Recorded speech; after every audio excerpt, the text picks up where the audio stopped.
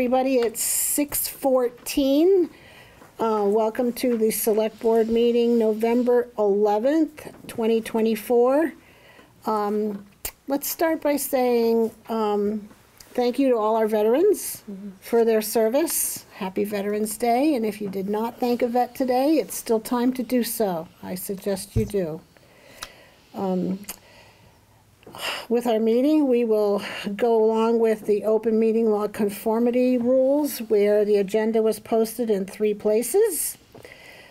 Uh, was posted on the website and emailed to a vast number of people that request to be emailed. Yep.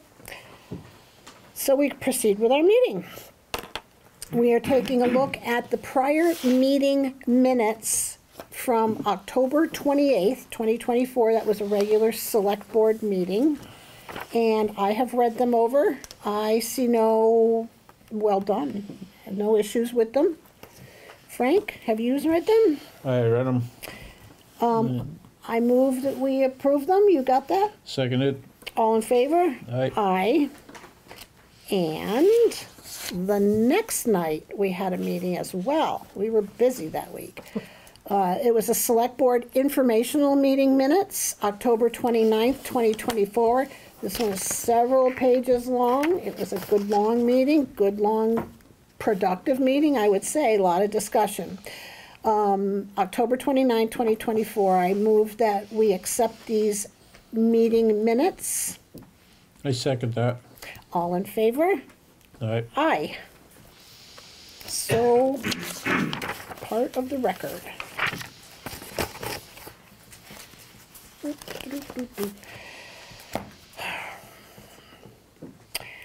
Um, I'm going to make an announcement so that, um, it doesn't get lost in the shuffle later on. Um, regarding, uh, the cell tower that is being applied for on the south end of town, um, there will be what is called a cell phone tower visibility demonstration.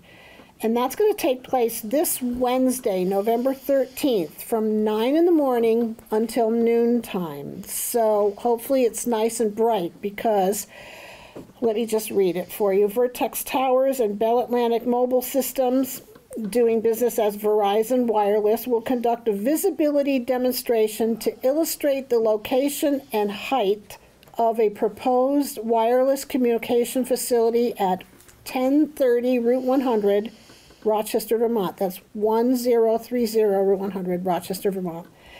The test will raise a balloon at the location to a height of 140 feet weather and wind conditions permitting. In the event of inclement weather, the demonstration will be rescheduled to the next weekday until conditions permit a successful demonstration. Wind is also a factor with this, so it could be bright and sunny, but if it's too windy, it won't, it won't be effective. Please check www Visidem, that's V-I-S-I-D-E-M dot com, after noon on the day before to determine if the balloon will be up the following day, so you have a way to check it in advance. Um, if you have any questions, call Francis at area code 401 447 8500. So, um, we're just trying to get the word out in as many different, uh, avenues as possible so that everyone is aware of this. We don't want anyone to be left behind saying, I did not know this was happening. Um, I read that from the Herald, so it's been in the newspaper last week. It's been on Front Porch Forum, and uh, we're doing everything we can to, to get the word out to everyone.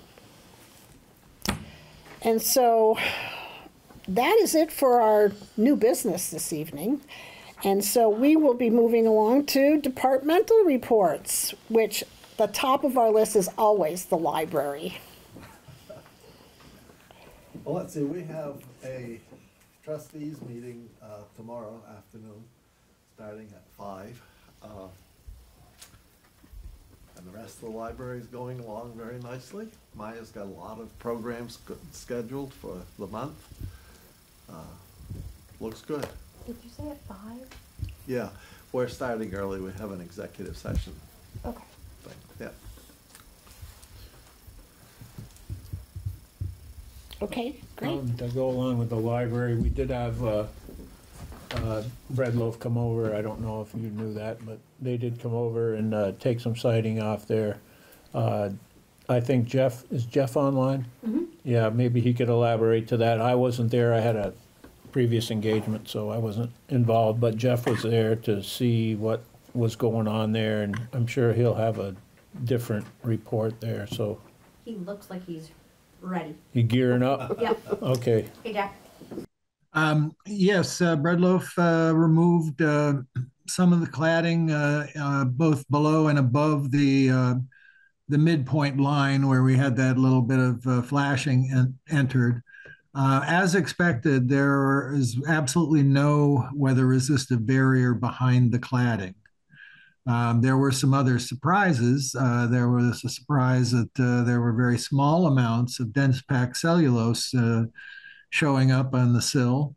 Um, there also was uh, no header on the on the northern bearing wall above the windows, um, and uh, there is really there was no. I expected to see board sheathing behind the cladding on the exterior wall, but there is no sheathing there, board or otherwise.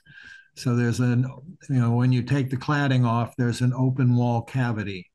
Um, now, because of what um, I know has happened to the interior, and I and other things that I suspect that has happened to the interior through work with Efficiency Vermont over the years, is that um, leads me to feel that we need a weather resistive barrier, but we need one that's very open to the vapor open to the outside because we we probably have a variety of assemblies to the inside in, the foundation that's that's all closed off and looks real nice.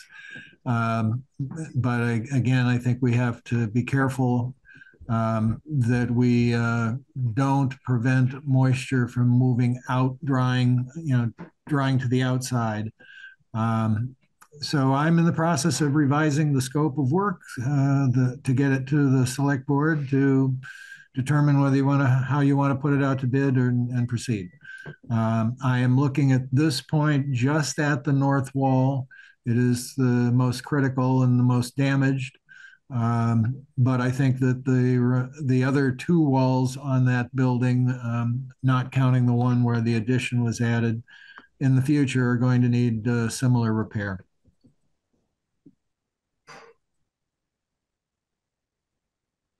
May I make a comment? Sounds like a lot of work, Jeff. Yep. Wa- Was there someone else? Um, I, I believe that, I think Robert, um, Franks is, was trying to say something on his phone, maybe? Okay, Yeah, thank you, Kristen. Uh, Jeffrey, I, I appreciate all your responsibility for the library. Uh, I think the point I made probably two years ago is that to preserve the library on the north side, there has to be probably a 20 to 25 inch uh, built, probably six feet wide, with probably 20 to 30 tons of gravel put into that.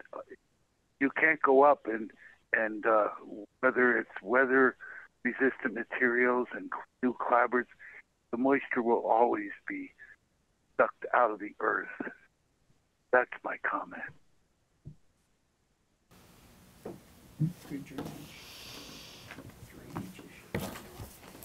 anyone else? Okay, that's quite a library report this, this time around. So, um, we're, we're moving along. Highway Department, Uh, not much going on. The, they're just gearing up for winter. which we could see a little bit of that even tomorrow morning Yeah, they say. up at the higher elevations. Uh, utilities operator, Not here. Jeff, do you want to speak to the energy side of things? You're on mute, Jeff.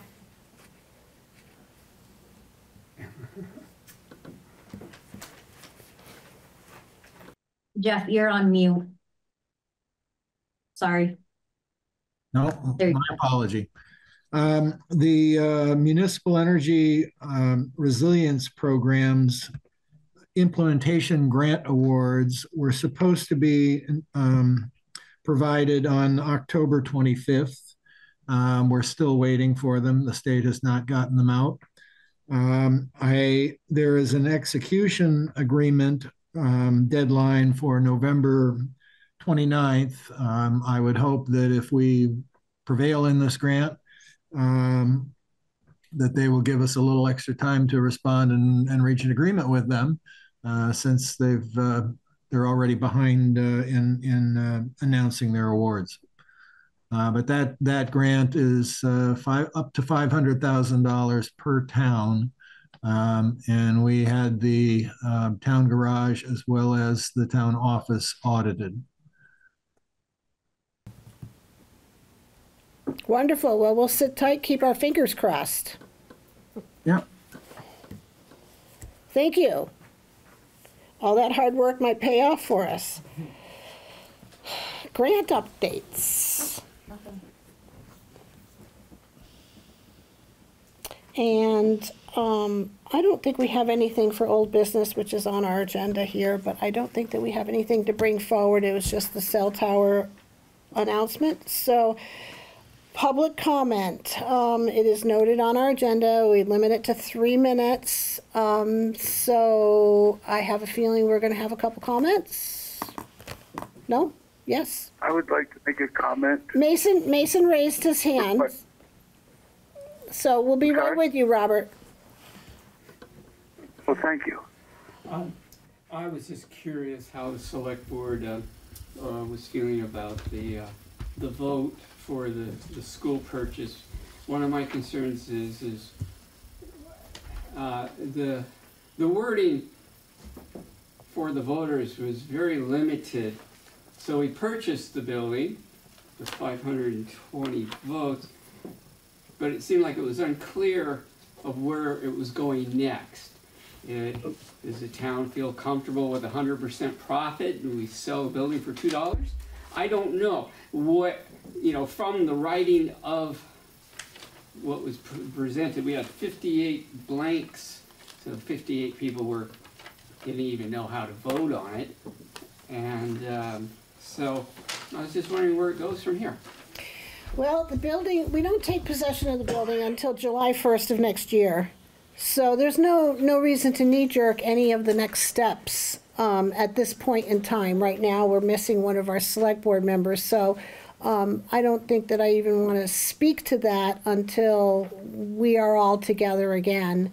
And, um, we'll, we'll make that determination. There's a lot of, uh, moving and shaking going on at the moment I'm sorry.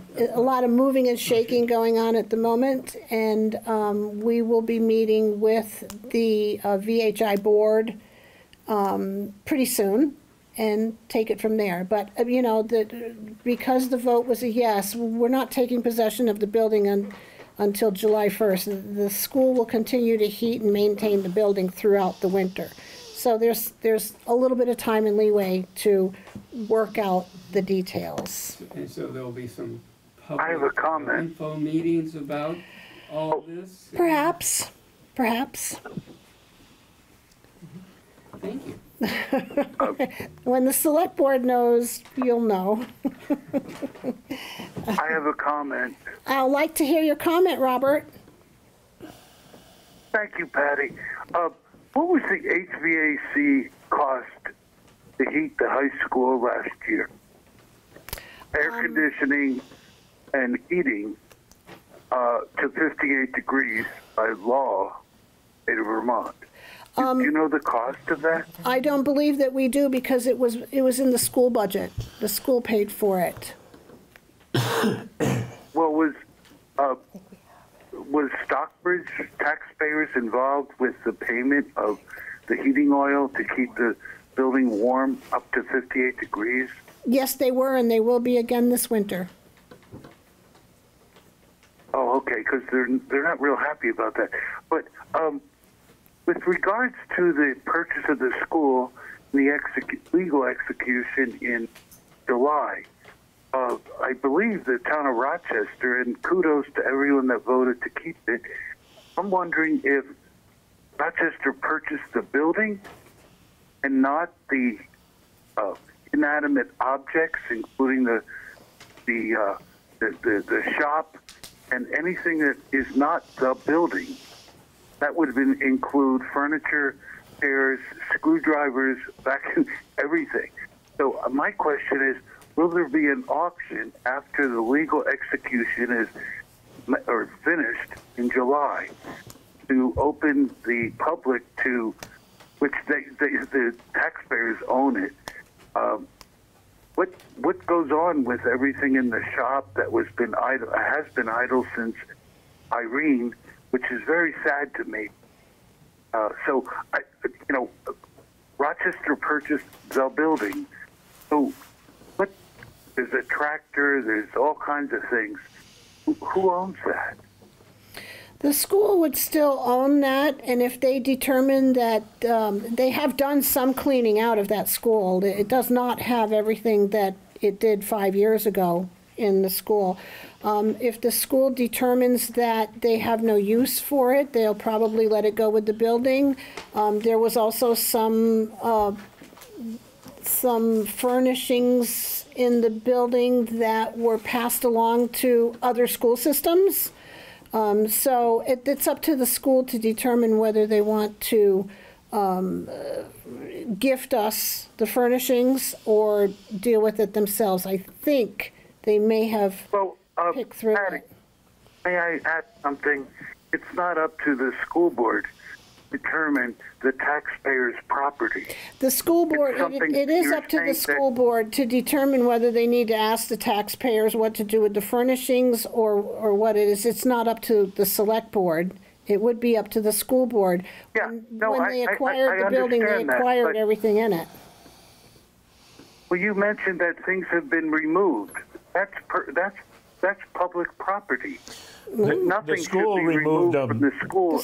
The- the- Robert, the school, the school went in and, and did it. They, they offered it up to other schools in the district. They had teachers come in and select different things, and they, they did it. This was done over the course of five years.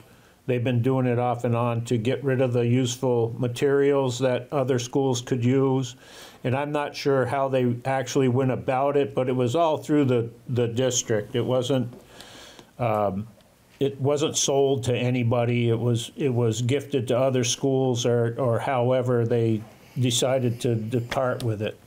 But they, they allowed teachers in well, different well, districts. Right. Robert, just let me finish. Wait. They allowed teachers to come in and take different programs from science and stuff to add to their curriculums in their schools. And I'm not sure what the circumstances are. That's a question for the school board to let them address. But I do know that that's some of what they did. So it's all up to the school. The school has those things. They're school ownership of all the, the materials that are there.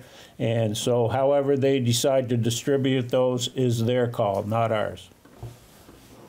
Okay, so is Jamie and the uh, White River Supervisor Union involved in the decision? I'm, sh- I don't know for sure, Robert, but I would say so. I would start with the RSUD board, and if they can't answer your question, then it would go to the supervisory union. Well, I think that would be appropriate. You know, it's it's just like if someone comes in to an auction and says, "I'm just taking this out of here," uh, no, that's not proper. So um, I'm sorry to hold up the meeting, but you know, it's taxpayers' money, not the school board's money. The merger defined it as all being transferred owner, ownership of the whole lock, stock, and barrel to the RSUD. So it would be up to them um, what they decide to do with it. They owned it all, not, not us. So uh, we can't answer any of these questions. So you're, you. uh, Patty, you're saying that the town of Rochester taxpayers did not purchase what is not the building, and anyone is basically uh, buckshot for White River or uh, anybody to come in there and say, "Hey, I, I want that." It's possible. What- I don't understand. Well, it's under the school's discretion, Robert, that's all. We, we don't have anything to do with that. I- And I'm sure that'll be ironed out before. No, I the- understand. the- I'll reach out to. Ethan and the school board to say, hey, guys, you know, you just can't go into a building and affect things that are owned by the taxpayers. Yep, it's a good question for them. I'm sure they'll have an answer. Thank you. Uh, You're welcome. just stopping through, huh? Okay, um, so I guess we Any have other taken care of business. I don't see any Sorry? hands raised on Zoom. Okay, well, then I move that we adjourn. I second that. All No, favor? no, no, no. Hello? Hello? Hello? Hello? Hello? Where's the 30 minute, where's the 30 minute comment for the public? We just had Just it. Well, there were no other For comments. 30, three minutes. No, there's three minute comment. That was him. He already did it. No, I didn't. That was on the, that was on the agenda to speak about. No, I want to bring up No, Act 67 community school grants that were provided to Rochester Elementary School for $8,966.68 that in, uh, you know, God bless Patty Harvey, who is very timely. She sent me a PDF file, and this $9,000 is not represented on the spreadsheet or the PDF file that was forwarded. Uh, we So, have no knowledge of this, to- this that you speak of.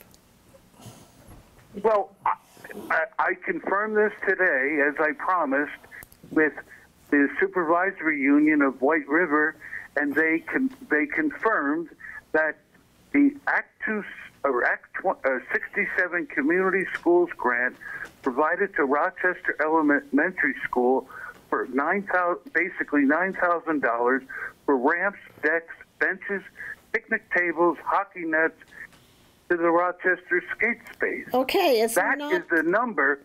it's not to the town. What- what- no, wait, Patty. town.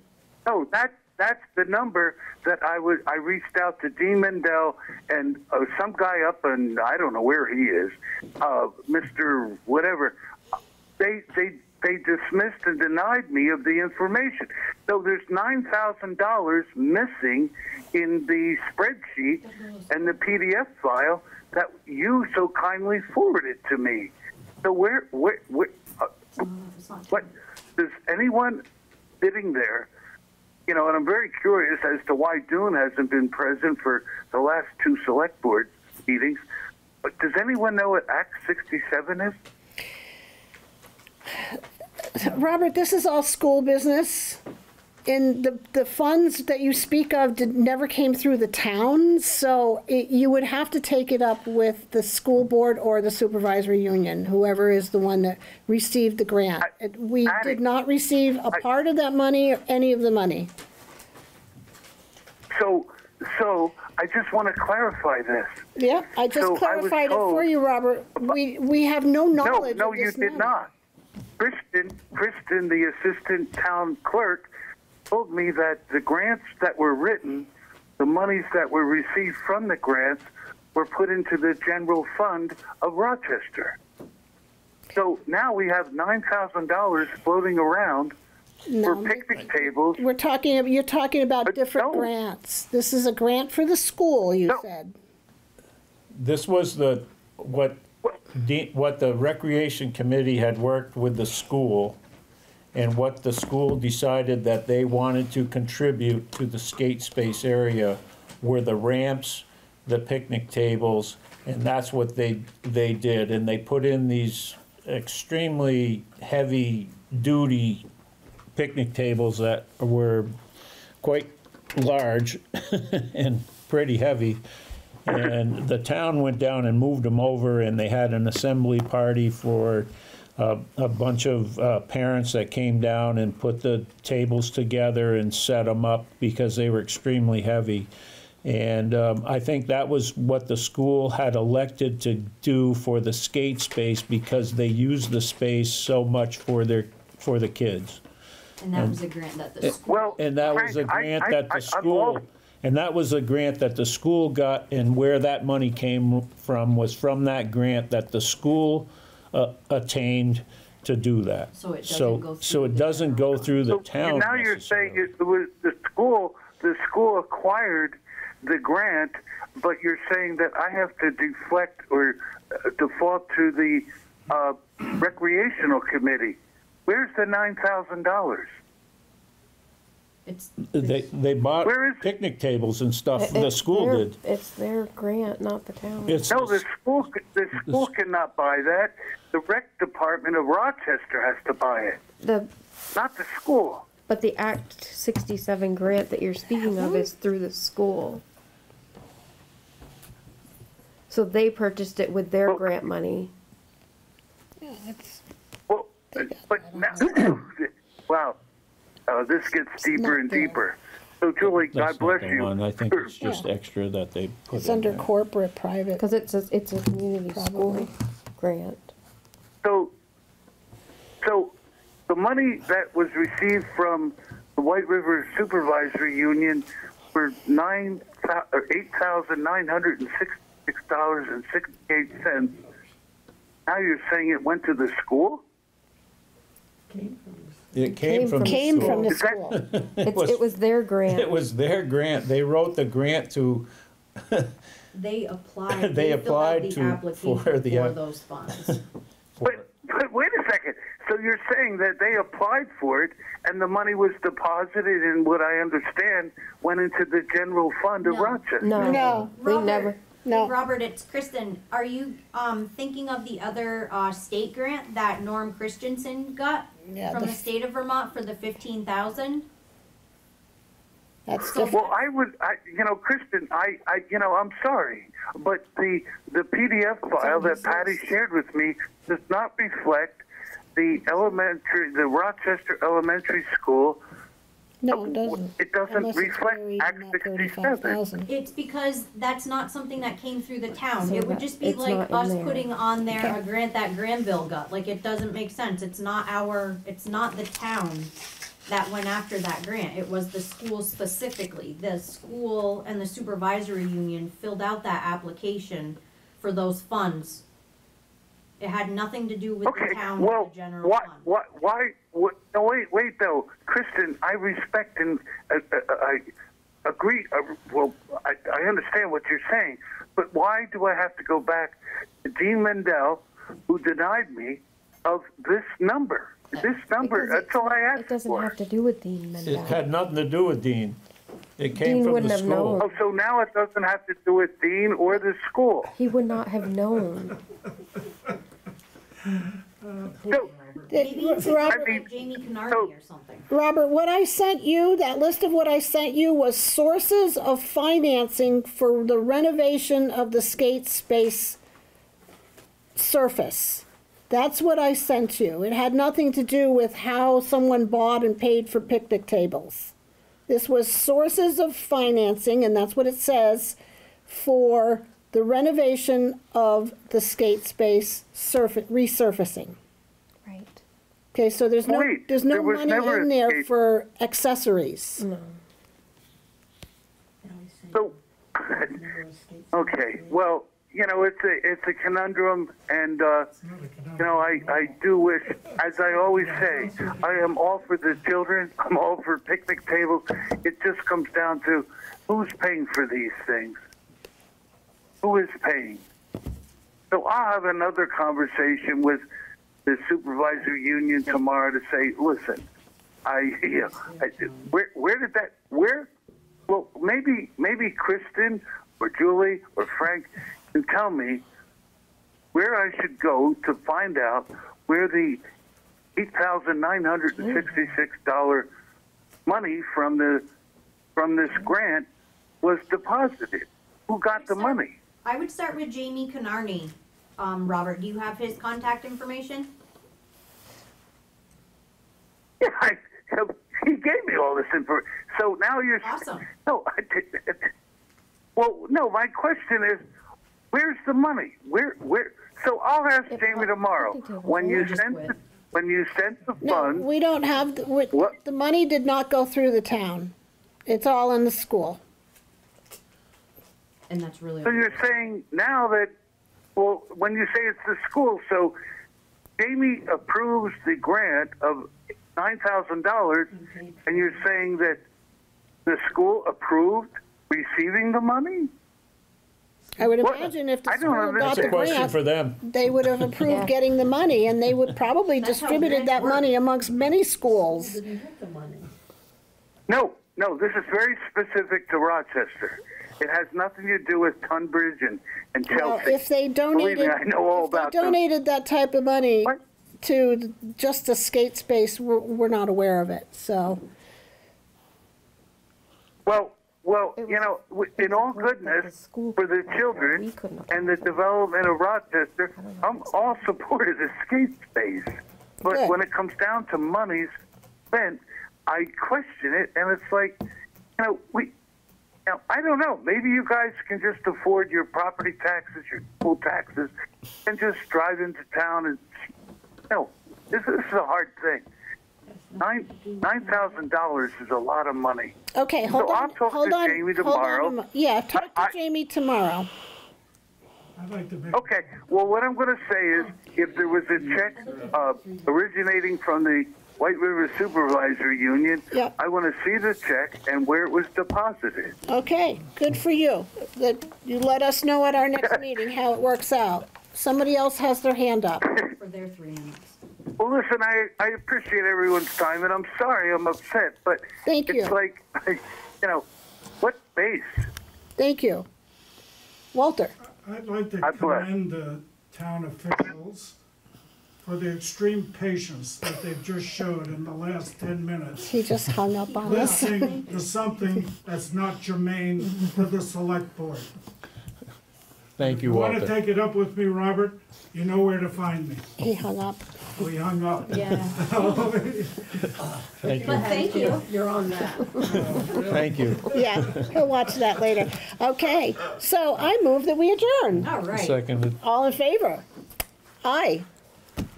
Right. Aye. Okay, great. Frank, now that the meeting's adjourned,